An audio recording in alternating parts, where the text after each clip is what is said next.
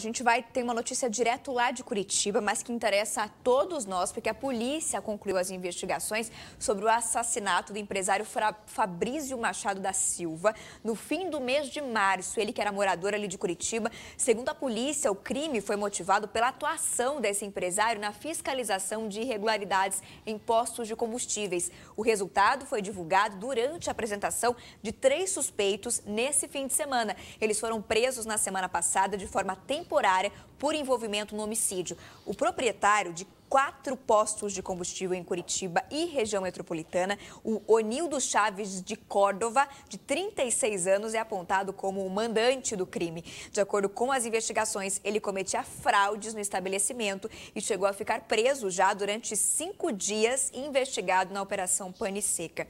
Os outros presos são Patrick Leandro, de 30 anos, apontado como atirador, e Ronei Dulciano Rodrigues, de 25 anos, que teria ajudado com os preparativos da ação. A polícia tem como prova os vestígios, os vestígios né, que foram deixados nos carros usados por eles, depoimentos fortes, segundo a polícia, acompanhamento de pagamentos que foram feitos antes do crime depois do crime e também a triangulação, como eles armaram a localização para agir. Segundo o secretário de Segurança Pública aqui do Paraná, o Wagner Mesquita, as investigações continuam e não está descartado o vazamento de informações sobre a atuação do empresário Fabrício. A polícia vai solicitar à Justiça que a prisão temporária se torne preventiva. Os três vão responder por homicídio qualificado mediante emboscada e sem possibilidade de defesa da vítima e podem cumprir de 15 a 30 anos de prisão. Eita, vazou combustível, hein?